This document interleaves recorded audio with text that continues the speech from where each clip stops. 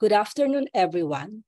Welcome to the Capital Medical Center 15th IM Powered Postgraduate Course. Thank you for that kind introduction. Topic for today is weight expectations, obesity, and weight management. These are my disclosures. The objectives are the following to describe obesity prevalence and trends, impart the health risks and consequence of obesity, as well as discuss the modes of management for obesity. In the Philippines, about 27 million Filipinos are overweight and obese.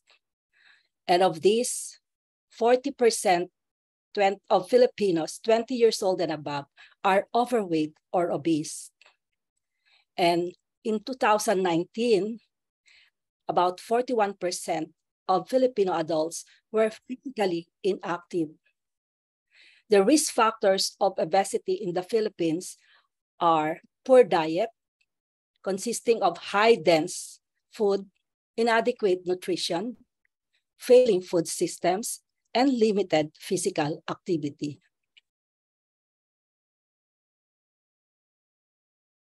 This slide shows energy homeostasis and weight regulation. As shown in the left slide, right side of the slide, the energy intake and energy expenditures are tightly coupled through integrated central nervous system networks and the peripheral organ hormones that act in consort to regulate feeding behavior and energy homeostasis. The energy intake is governed by five major CNS networks, as shown here, such as your homeostatic hypothalamic centers, the reward centers, emotion and memory, attention, as well as cognitive control.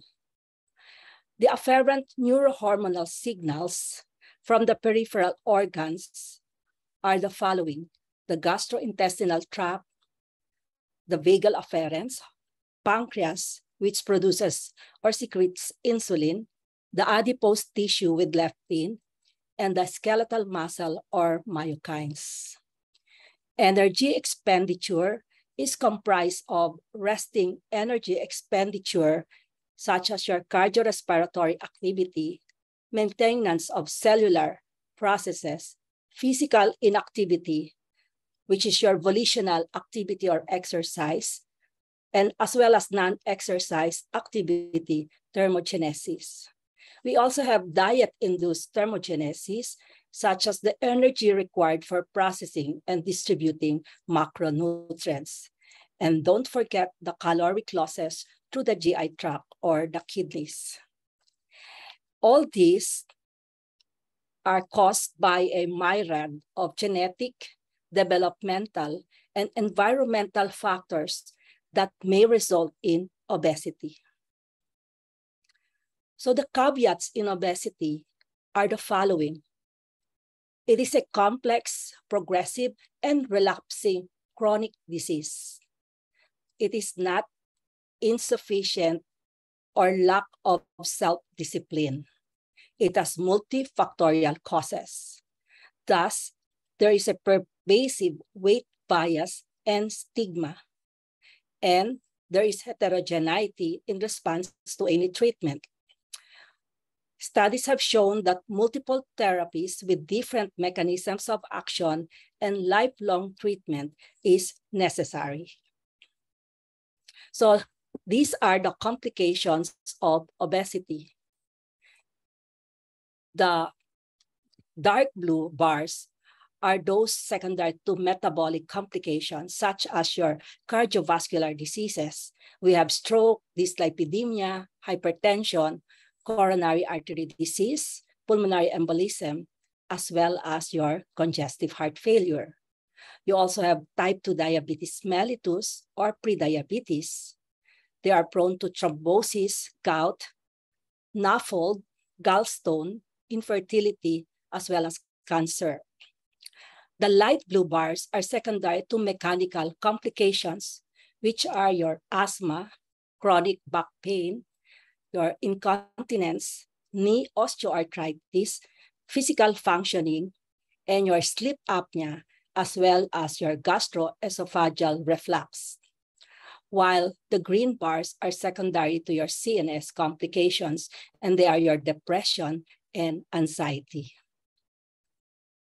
There were several guidelines for obesity management, and more are coming out from 2014 up to the present.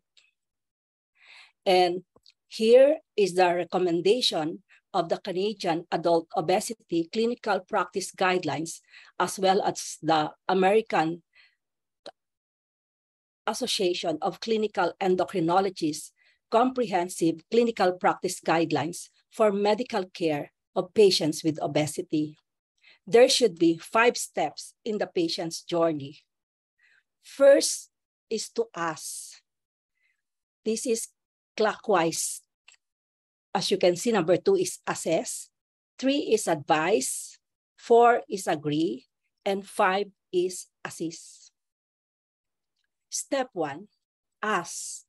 You should ask permission. Would it be all right if we discuss your weight? Asking permission shows that you have compassion and empathy with your patient.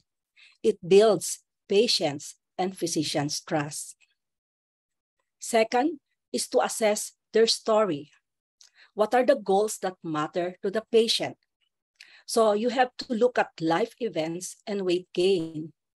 You have to ask questions about patients' life events that coincided with weight gain, such as smoking cessation, medication initiation, pregnancy or menopause, job loss, change in marital status, and others. Go deeper with regards to diet and activity. What is the extent of the daily physical activity? Sleep habits and difficulties. Food preferences, the frequency and quantity of meals. And you have to check the psychological assessment with regards to mood, the anxiety disorders, presence of post-traumatic stress disorders, and even eating disorders. I have mentioned to you the complications of obesity, and this you have to check through the review of systems. What about the patient's weight loss readiness? Is the patient motivated?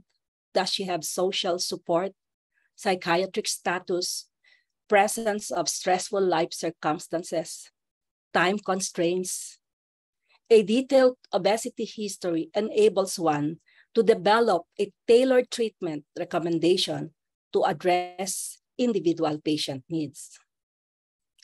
So we have to have a checklist of weight-related complications. As I've mentioned earlier, metabolic complications, cardiovascular complications, and organ-specific hormonal and mechanical com complications. Okay?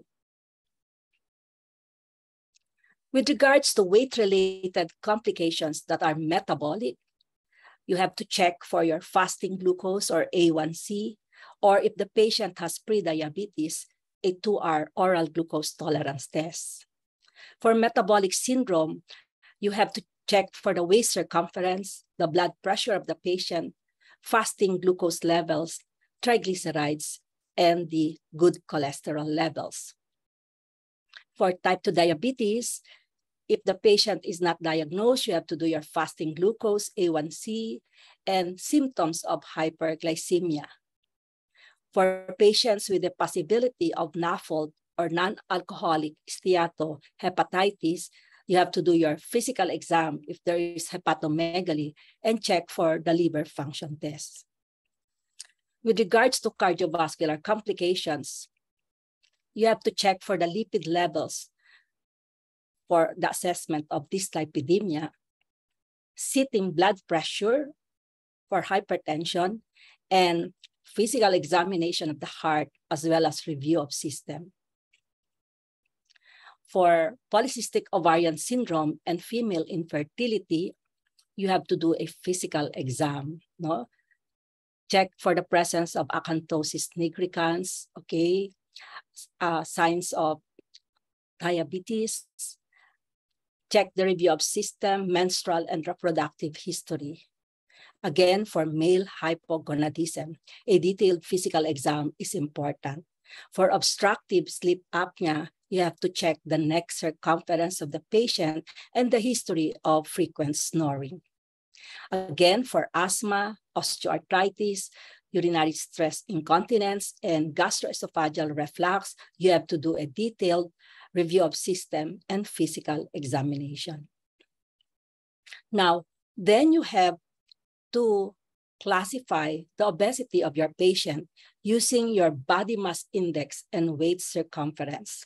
Now, as a review, your body mass index is your weight in kilograms over height in meters square, okay?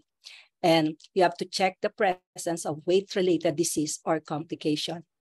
So here is a tabulation on the BMI values so that you can know whether your patient has normal weight, stage zero or stage one obesity or stage two obesity. And below are the values for Asian, specifically for Filipinos. The normal BMI is 18.5 to 22.9 kilograms per meter square. If your BMI is 23 to 24.9, you are overweight. And if your BMI is between 25 to 29.9, you have obese one, okay? And if you have a BMI of more than 30, you are obese two, okay? Now, we had done this before. We checked the medical history, did a thorough physical examination, then you do the clinical laboratory test that I mentioned earlier. Check the review of system, emphasizing weight-related complications. After all this, then you can make a disease severity based on the Edmonton obesity staging, where in zero, although your patient is obese, there are no obesity-related risk factors, physical symptoms, psychopathology, or functional limitations. For stage one, which is mild, the blood pressure is greater than 130 over 85 millimeters mercury. Fasting plasma glucose is pre-diabetes, and the total cholesterol may be elevated. So with your triglycerides and your good cholesterol is low. There is shortness of breath during physical activity. While stage two is moderate, wherein your patient is diagnosed or treated with hypertension or untreated BP greater than 140 over 90, okay, with type 2 diabetes or untreated fasting plasma glucose greater than 126 milligrams per deciliter, diagnosed with dyslipidemia, the patient also presents with gout, depression, fatigue, urinary leakage, low back pain, joint stiffness, and the patient is reported to be generally sad or with fair self-reported health. While in the stage three, which is severe, your patient has now chest pain, myocardial infarction, calf pain during exercise, stroke, shortness of breath when sitting, or sleeping cardiomegaly. And this, your patient is often depressed or with poor self-reported health. So step three is to advise the fundamentals of care.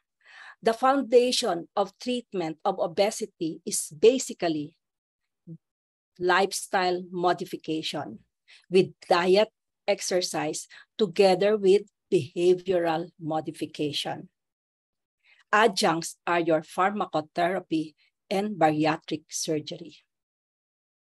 So lifestyle modification on the right-hand side of the slide are the dietary modifications. So you have to promote breastfeeding from birth to six months of age. So advise your patient to eat a variety of nutrient-dense food rich in calcium and fiber. So as you can see here, it's mostly limit intake of foods and beverages, intake of calorie-dense foods. And remember, patient must be advised to eat breakfast every day. So portion control with correct food choices and then to participate in family meals five times a week. Limit the eating out, especially in fast food restaurants, and allow a maximum of two hours per day only for screening time. And on the right hand of the slide, the left hand of the slide is the physical exercise, moderate intensity exercise for 20 to 60 minutes daily. Choose low impact activities such as walking, swimming, cycling, step aerobics, and then this is followed by strength training program at least two times a week. Remember, our patient is already obese, so they, they could be, they have some difficulty in walking or doing some exercises. So you should start slowly and gradually progress the intensity and duration. Advise them to find an exercise partner to help keep them motivated and consistent. And the most important thing is to set realistic weight loss, loss goals, no more than one to two pounds per week, and stick to a healthy, calorie controlled diet. So, this is the recommendation from the Endocrine Society. As you can see here, this the new treatment paradigm is to treat the weight first. So for diet, any diet is feasible as long as the patient will adhere to it. And the exercise is 150 minutes of moderate intensity aerobic activity more than two days per week.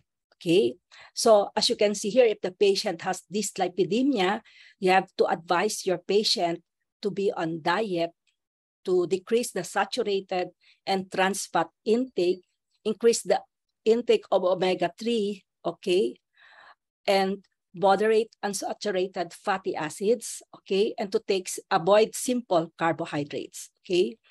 If your patient has hypertension, then they should use the DASH diet wherein it has decreased sodium intake.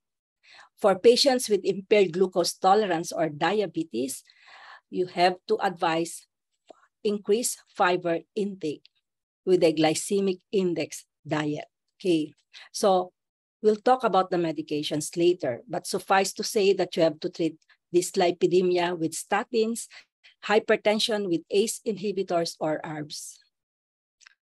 Now, with regards to psychological and behavioral interventions, psychological is the cognitive approach to psychological change.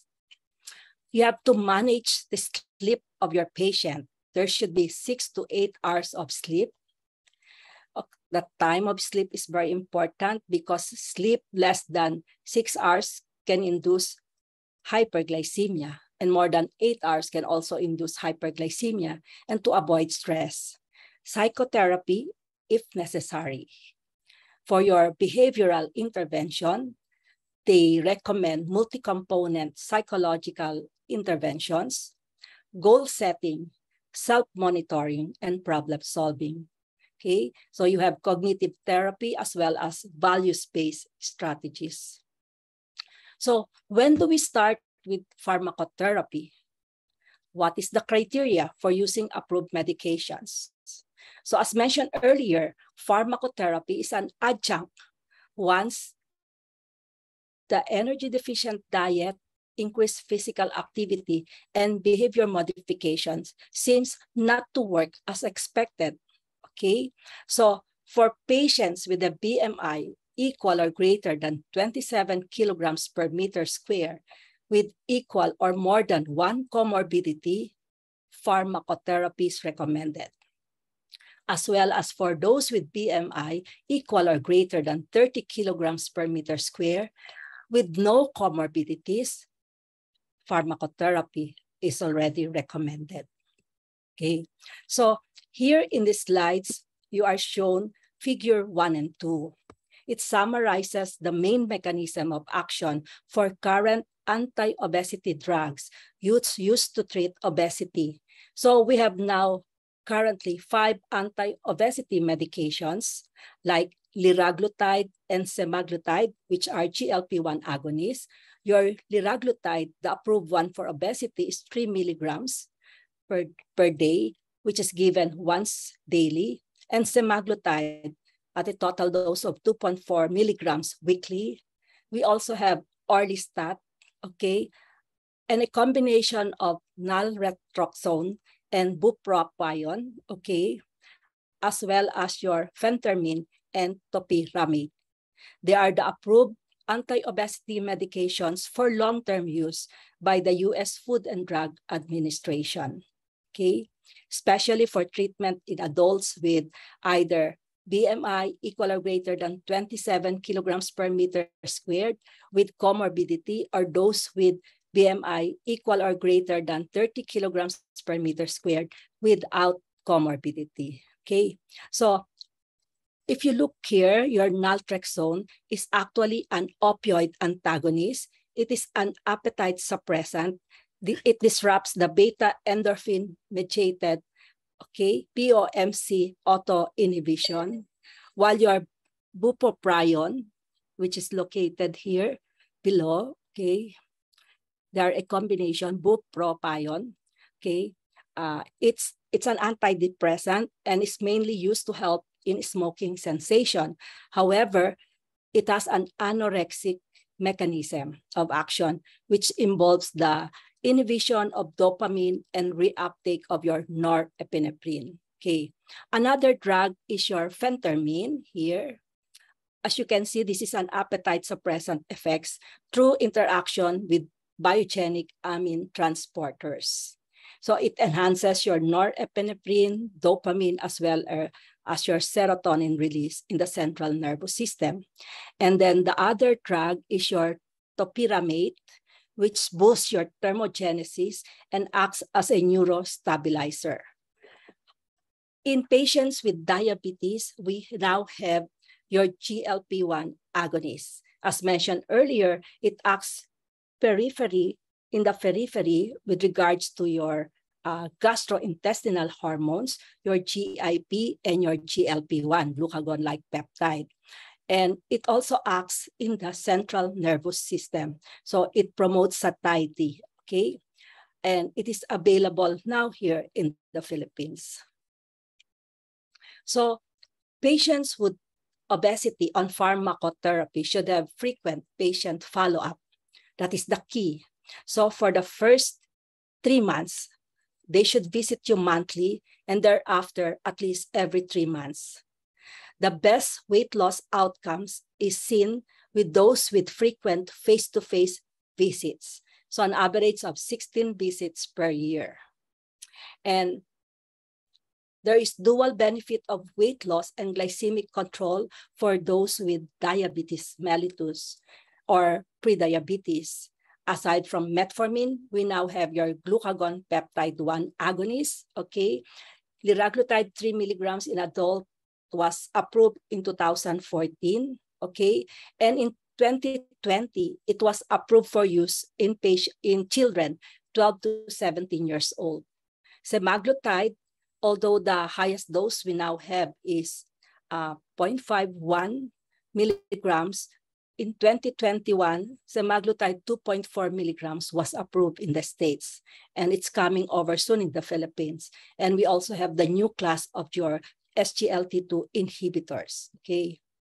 So for those patients who are obese with type 2 diabetes, you should know which of these medications will promote weight gain, such as your insulin, sulfonylureas, other insulin secretagogues, and your TZDs or thiazolidinediones.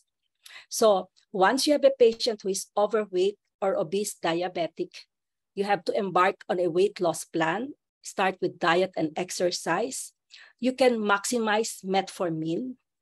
If there is contraindication or intolerance, you can add in your GLP-1 agonist, liraglutide, although uh, now we have semaglutide, which is at an advantage because it is given only once weekly.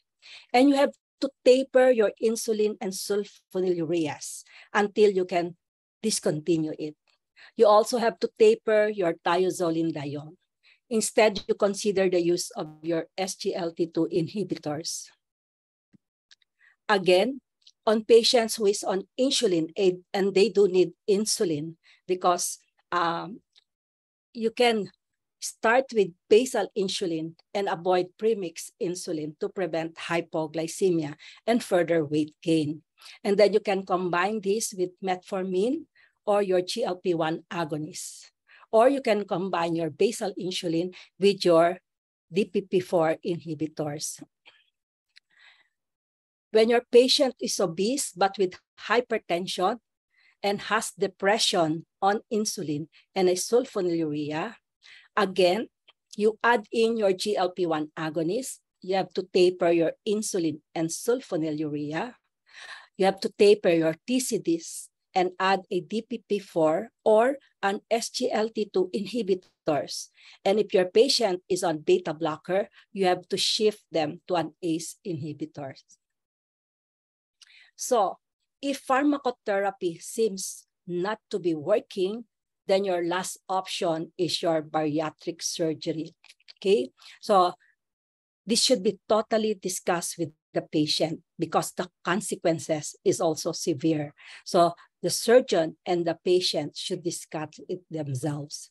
And if you look at the rates of equal or more than 10% total body weight loss at one year, as shown in this graph, of course, those who underwent bariatric surgery has the highest rate of weight loss, 68%, 75%, and almost 98% with your Roux-en-Y surgery. And even your intragastric balloon will have a 60% weight loss, okay? And if you look at your anti-obesity medications, okay, Again, bariatric surgery has the greatest weight loss, and this is followed by your GLP-1 agonist, okay, uh, which is your semaglutide at, one, at 2.4 milligrams. The dark blue one here is your tirzepatide, which is 15 milligrams, a combination of your GLP-1 agonist and your gastric inhibitory peptide. Okay, so it's coming over in the Philippines in the next few years. Okay, and in comparison of the weight loss in rats, as you can see here, um, the weight loss is greater in rats compared to the humans because they had shown that the rats have uh, increased metabolic uh, energy expenditure compared to humans. Okay, So step number four is the patient and the physician or the caregiver should agree on the goals of treatment. They should collaborate on a sustainable but personalized action plan, okay? You should gain the trust of your patient. So during follow-up and reassessment, you should focus on incremental, personalized, and small behavioral changes. Sustained behavior change is important to overcome many challenges, such as cravings, habits, availability, or social pressures. Follow-up sessions usually is repetitive and relevant to support the development of self-efficacy and intrinsic motivation. So my key points are the following in conclusion, the prevalence of obesity is increasing in the Philippines, especially during the pandemic. The causes of obesity are multifactorial and may vary from one person to the other. Remember that this is not secondary to insufficient attitude to lose weight. And the focus of obesity treatment is not weight loss, but health gain.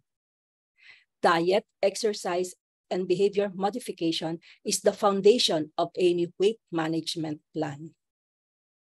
The success of obesity treatment can be measured in the reduction of symptoms, not only by the actual weight loss, which ultimately will reduce the signs of the disease. So thank you very much for listening.